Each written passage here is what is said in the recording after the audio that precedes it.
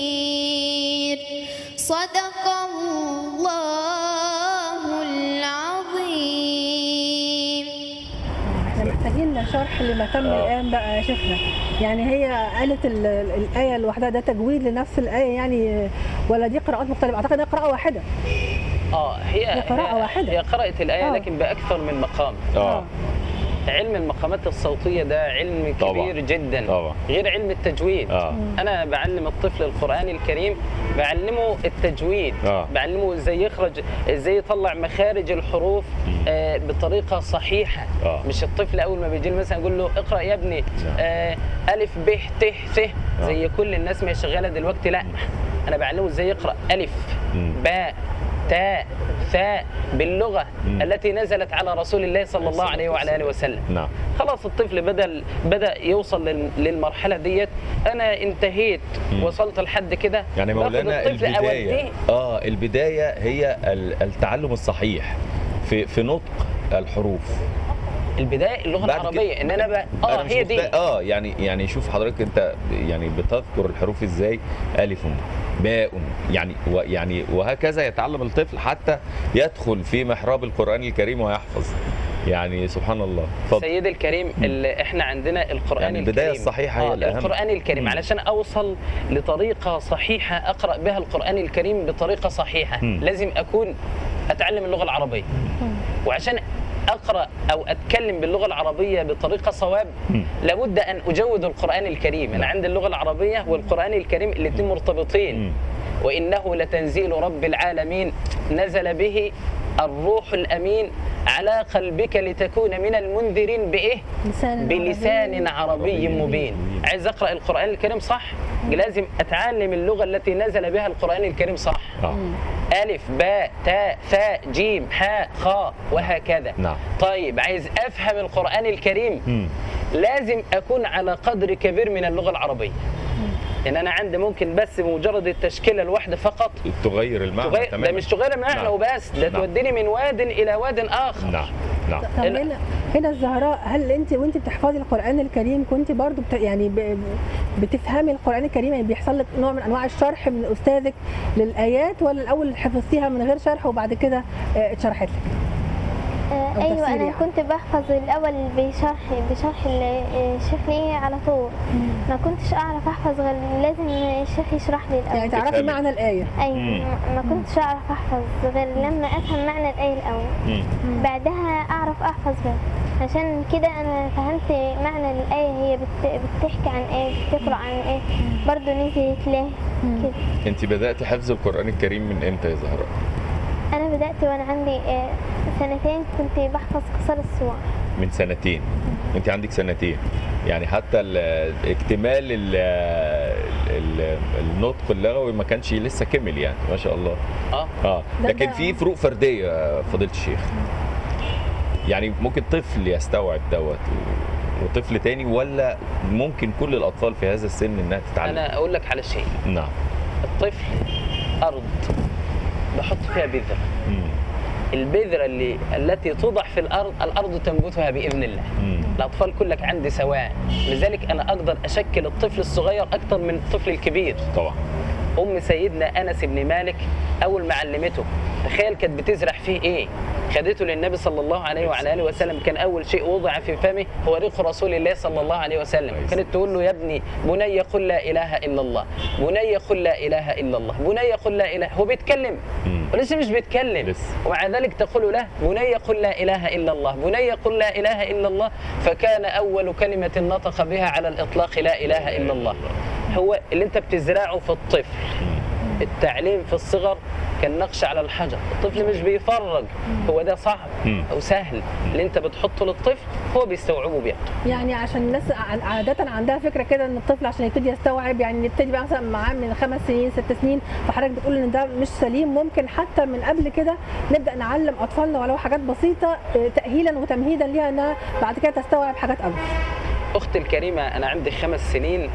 14 جزء من القرآن ما شاء الله الله. خمس سنين آه. خمس سنوات خمس سنوات آه. 14 جزء, جزء من, من القرآن. نصف القرآن نعم نصف لحد إمتى هنستنى؟ مم. لحد إمتى هنستنى إن إحنا نقول لا ابننا مش هيحفظ غير بعد بعد خمس سنوات بعد نعم. ما يدخل الابتدائي نعم. لحد إمتى؟ إيه، أنا- أنا, بسعد الوقت إن أنا يكون عندي أصغر حافظ لكتاب الله ما شاء الله الله. عايزك آه، يعني تختار لنا حاجة مع الزهراء و... و... وتكون يعني فضيلتك محفظها لها وعايزين تبين بقى جمال الصوت وجمال ال... ال... الأداء والحفظ. اتفضل. قرآن ولا آه، انشوده؟ يعني يعني زي ما تختار يعني. يعني زي- الإنشاد الديني إحنا ما سمعناهوش عايزين نسمعه منه. طيب أنا أقول لك على شيء. أجمل حاجة بسمعها من الزهراء آه. مدح سيدنا النبي محمد آه، أو الإنشاد في جانب سيدنا النبي محمد صلى الله عليه وعلى آله وسلم. ممكن يلا. الزهراء تسمعها. يلا. يا عاشق المصطفى أبشر وتهنى من أطاع المصطفى جازه الجنة. يا عاشق المصطفى أبشر وتهنى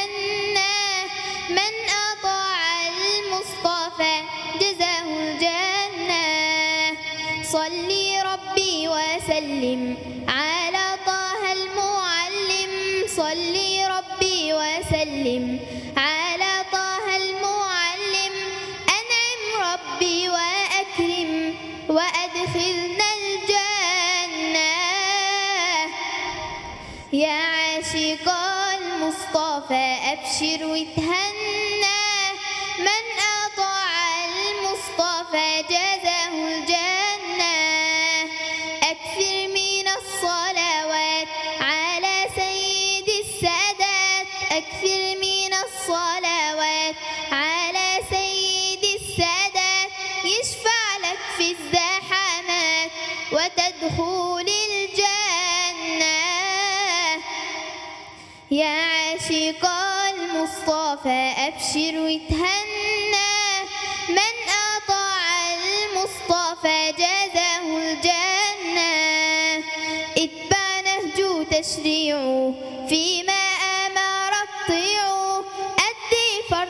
dead.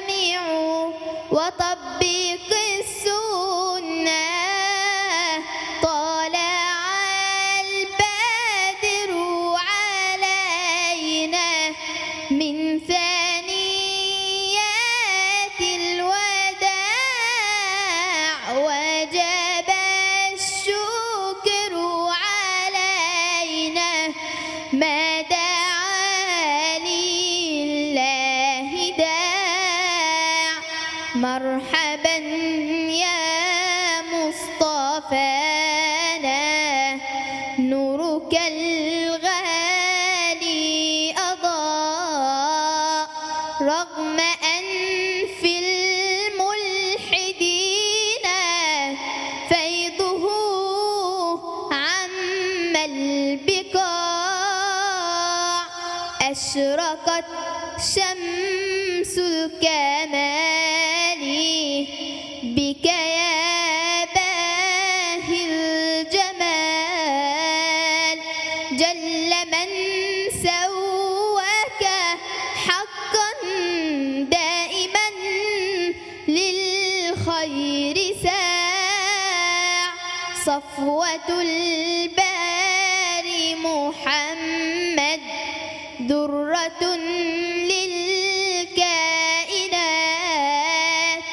مدحه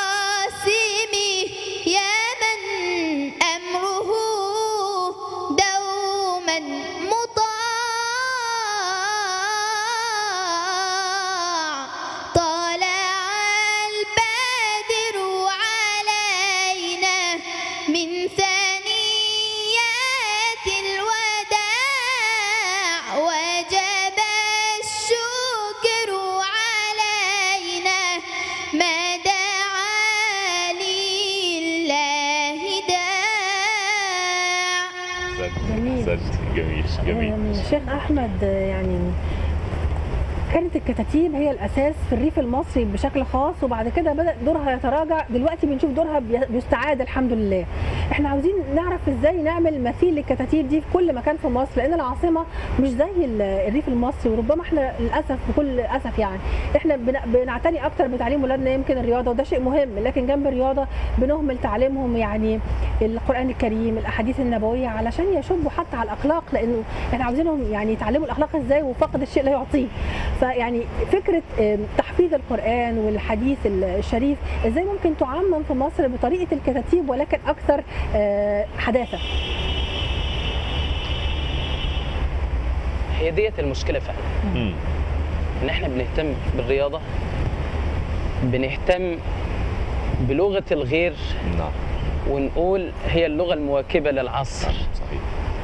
لكن إحنا لو نظرنا لعهد النبي محمد والعهد الصحابة والتابعين ده كان الحضارة ده كان زمن الحضارة ليه هم ربوهم على القرآن مم.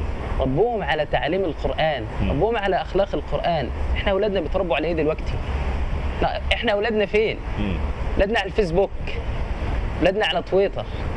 أولادنا أمام ال... هنقول إيه. هنقول إيه. الواجب فعلا أن يكون للأزهر دور يكون لل... لل... للأوقاف دور لكل العلماء. طبعا. اللي ربنا ادالهم العلم وادالهم القرآن إن هم يطلعوا ده للناس يحفظهم ويعلمهم نعم. إن هو ده كتاب ربنا. نعم. تركت فيكم ما إن تمسكتم به لن تضلوا بعدي. كتاب الله وسنتي. نعم. يعني فضيلة الشيخ يعني سؤال آه، بشكل آخر وهو آه، عندما سئلت السيدة عائشة عن أخلاق النبي فقالت إنه كان كالقرآن يمشي على الأرض. هنا أتحول إلى الجانب التربوي عند الأطفال أو عند الطفل عندما يحفظ القرآن الكريم. يعني كيف ترى يعني تكوين هذه التربية في خلق الطفل حتى يعني بعد حفظه للقرآن الكريم؟ هو أنا ممكن اقف مع حضرتك بس عند نقطة واحدة. مم. هو المفروض إن أنا مش هزرع في الطفل الأخلاق بعد حفظ القرآن الكريم. فعلا. أنا مع كل آية هديها له. آه وفسرها له. لازم أطلع له منها. أيوه. لازم أعلمه. نعم. صحابة النبي كانوا بيقولوا إيه؟ تعلمنا العلم والعمل جميعا. مم. كانوا يحفظوا الآية طبقوها ويطبقوها. نعم. ويتعلموا من اللي فيها. مم. لكن الإشكال عندنا دلوقتي إن إحنا بنحفظ. مم. طيب فين الأخلاق فين ال... فين فين تفسير؟ الآية دي فين ال... و- فين ال- المعالم آه. التربوية آه. وال... والنبع القرآن اللي المفروض الناس تتربى عليه وإن مم. أطفالنا تتربى عليه. المفروض إن إحنا نطلع أولادنا من الأخلاق المشينة لأخلاق القرآن نعم. زي ستنا السيدة عائشة نعم. لما سألها الأعرابي يا أم المؤمنين حدثينا عن أخلاق النبي الأمين فقالت له أتعرف القرآن مم. طب ليه هي ما قالتلوش ده أخلاق النبي كان أخلاقه كذا وكذا نعم. وكذا وكذا لكن ده قالت له إيه الجامع لا، الشامل أتعرف القرآن؟ نعم. قال نعم قالت كان خلقه القرآن ليه؟ عشان ي... عشان تبين إن القرآن مش فيه خلق ولا اثنين ولا ثلاثة ولا أربعة الأخلاق كتيرة جدا النبي كان يمتثل بها. ولذلك القرآن نعم. قال عنه وربنا قال عنه ما قالوش وإنك لذو خلق عظيم لعل ولم يقل له وإنك مم. ها لصاحب خلق عظيم وإنما جاء بحرف على الذي يفيد الاستعلاء. نعم. فالأخلاق إذا ذكرت كان رسول الله عنوانها. الأخلاق إذا ذكرت كان رسول الله سيدها. قال الله وإنك لعلى خلق. عظيم. فكأنه صلى الله عليه وسلم متربع على عرش الأخلاق جميعا. إن. إحنا نختم الفقرة بقى مع الزهراء وتختار لنا حاجة يا زهراء تسمعها. لنا. اني أ- أقول نشيد عن مصر يلا اتفضل أول ما سمعت إسمك في كتاب ربي المبين. حنيت وجيت وزرتك يا بلد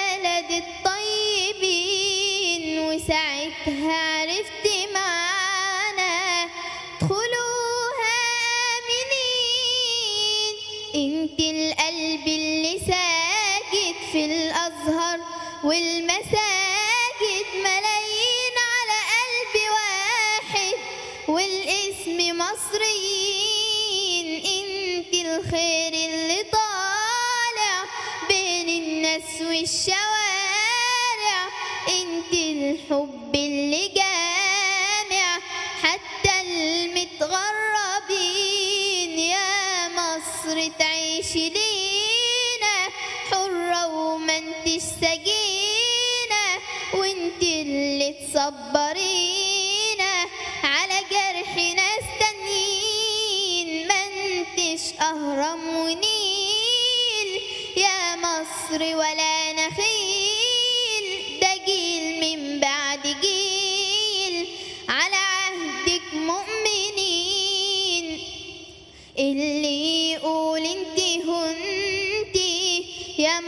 مصر ملوش مكان وإنتي كنتي وما زلتي للناس بر الأمان.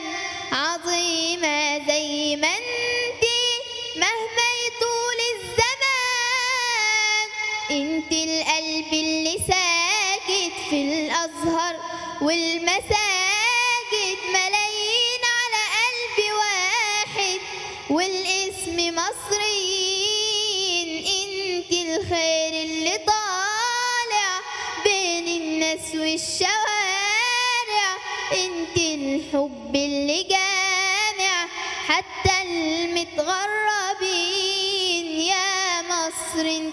السفينة وقت الشدة تشيلينا بالحب تعدي بينا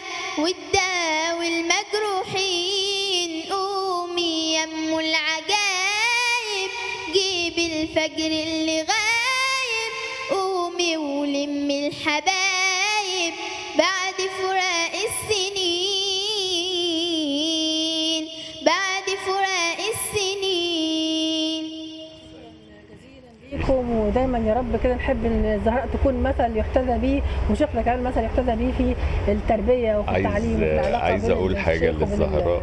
آه، يعني أحسنتي اختيار الأستاذ وربنا يبارك لك آه، فضيلة الشيخ وبجد استمتعنا وإن شاء الله يكون عندنا جيل فعلا كامل.